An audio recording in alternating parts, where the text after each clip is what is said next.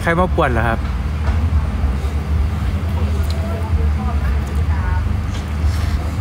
ล่าสุดผมเพิ่งจัด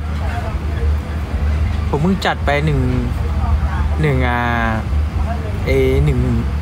หนึ่งแมตช์นะกับการที่ฟ้องร้องคนที่แบบว่าทำตัวไม่น่ารักเนี่ยเป็นคดีตัวอย่างเลยเดี๋ยวผมจะมาเล่าให้ฟัง แล้วผมชนะคดีด้วยครับ ขึ้นศาลเรียบร้อย เขาจะเอากระเช้ามา ขอโทษผมที่บ้านผมผมไม่สะดวกพบเลยครับ ไม่สะดวกพบเลย คือเอาผิดอย่างเดียวเขาร้องไห้ด้วยครับเขาก็อ้างว่า เออเขาป่วยเป็นนู่นนี่นั่น ไม่สบายต้องรับยาตลอดอะไรเงี้ยคือผมไม่ฟังเหตุผลเองสิ้นครับ เพราะว่าคนที่เขา เก่งในโซเชียลที่แบบว่าว่าคนอื่นโดยที่ไม่คิดแต่เราเขาก็ต้องได้รับบทเรียนเหมือนกัน รับเป็นเงินสดอย่างเดียวครับ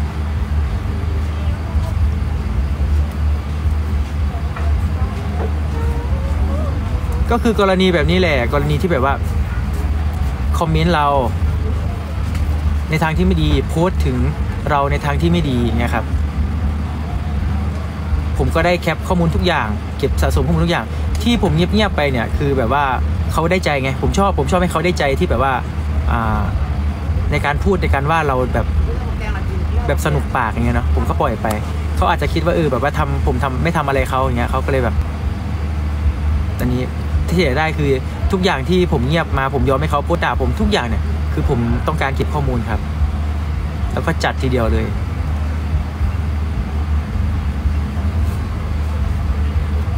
ซึ่งผมไม่ได้ฟ้องร้องแค่คนเดียวนะครับ ใครที่เคยว่าผมคือ อย่าคิดว่าผมไม่รู้นะว่าคุณคือใครต่อให้คุณเป็นอวตารก็ตาม ผมสามารถหาได้ทุกอย่างที่เป็นข้อมูลของคุณ ในเมื่อคุณทำผิดผมจำเป็นที่จะต้องทำครับ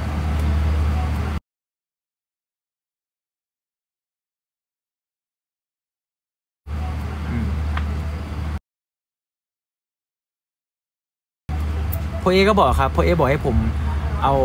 กรณีเนี้ยมาโพสต์มามาแจ้งทุกคนหน้าเฟซด้วย เพราะว่าถือว่าเป็น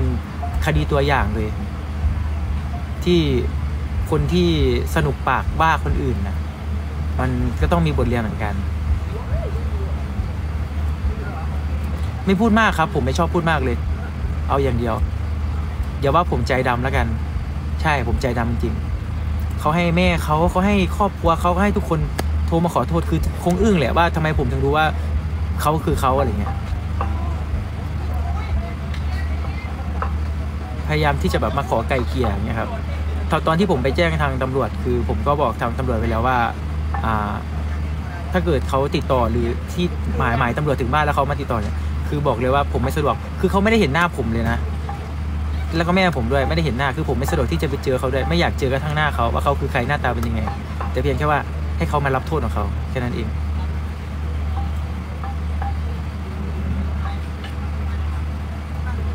ประมาณนั้นเลยครับ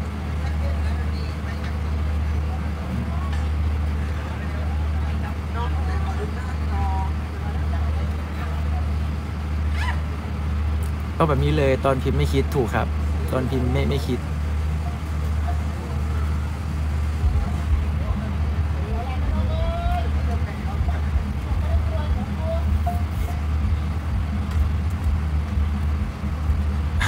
มาไม่ทันแล้วเรื่องอะไรอยู่ไม่เคยเห็นตัวจริงแต่มีพลังบวกให้ขอบคุณครับ เกี่ยวไหม เพราะฉะนั้นผมชอบใครที่พูดถึงผมไม่ดีหรืออะไรอย่างเงี้ย ทุกคนเห็นทุกคนสามารถส่งข่าวผมได้นะ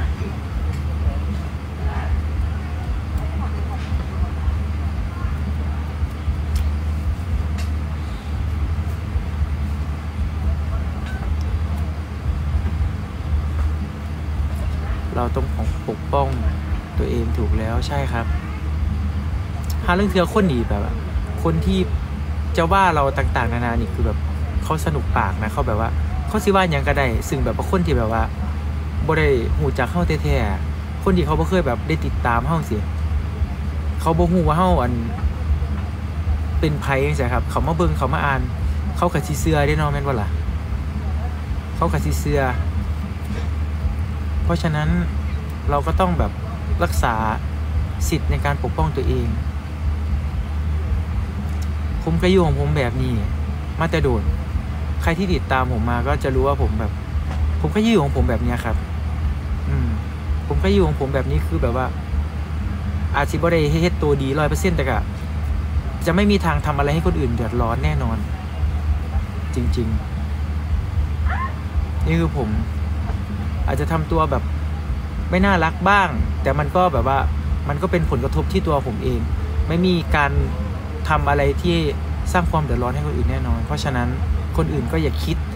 แม้แต่จะมาสร้างความเดือดร้อนให้ผมเหมือนกัน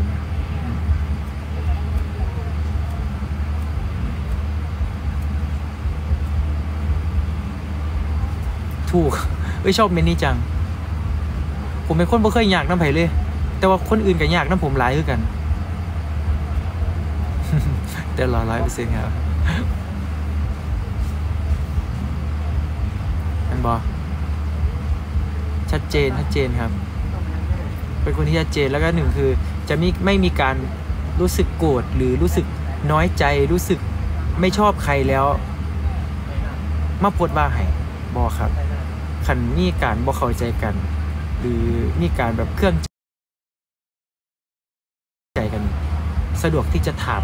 เลยมากกว่าสำหรับผมขันรู้สึกว่า ผู้หนึงเฮ็ดตัวบ่โอเค หรือบ่พอใจในสายตาเฮานี่เฮาก็เลือกที่สิบอกเขาตรงๆดีกว่า ซึ่งสิบ่มาโพดนะครับ นี่คือผมแต่กะมันกับมันกับบางคนเขาก็แบบว่า บางคนเขาก็สะดวกที่จะโพสต์นะเนาะอยากให้แบบ อยากบ่อาจจะบ่เกรงใจบ่กล้าบอกกันตรงๆนี่ก็แล้วแต่ความสะดวก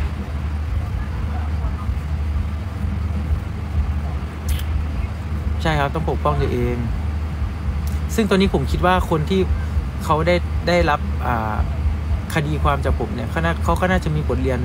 ในการโพสต์แหละต้อให้เขาบอโพสต์ว่าผมนี่เขากับสิบอมีสิทธิ์โพสต์ว่าผู้อื่น ไม่ใช่แค่เฉพาะศิลปิน คนที่เขาแบบคนที่เราใช้ชีวิตด้วยทุกวันเงี้ยเพื่อนในเฟซหรืออะไรก็ตามเราก็ไม่สมควรที่จะไปไปว่าอะไรเขาเนาะถูกไหมอืม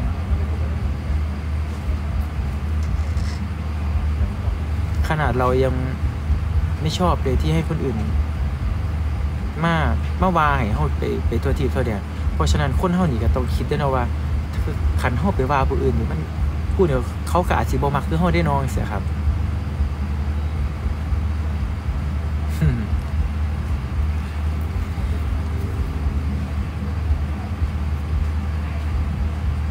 เกิดแก่เจ็บตายเบนเบนอะไร พี่เทนอยู่ไหนครับ เจ็บแบบนี้ไม่ใช่เก็บที่เท้านะแล้ วพี่เจมส์ใส่กวางให้เหรอ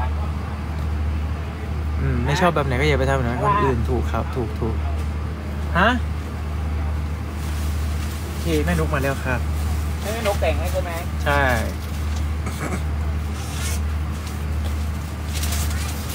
เต้าน้อยเต้าน้อยไหนเนี่ยขอบคุณของขวัญจากหนูตาลครับ ไปดูคลิปขับซาเล้งผมมาแล้วใช่ไหมเป็นไงบ้างความรู้สึกยังไม่บัตรดูเลยค่ะ แม่จะเอาเวลาหนีดูเหรอครับ แม่ทำงานขนาดเนี้ยหึคุณแม่นุกแม่ครับเพิ่นมีคิวดันตัดสุดในห้องบริหารสีที่แม่ป้านะคอัรับนเพิ่นมาเพิ่นติดตัดที่อยู่ค่ะตอนนี้เพิ่นยังประมาณแม่นบอแต่แต่ว่าเขาเพิ่นเฮ็ดอันเอียงก่อนเขากระถาได้อยูนะแม่เนาะเอียงวะเอียงศิลปินนี่ละ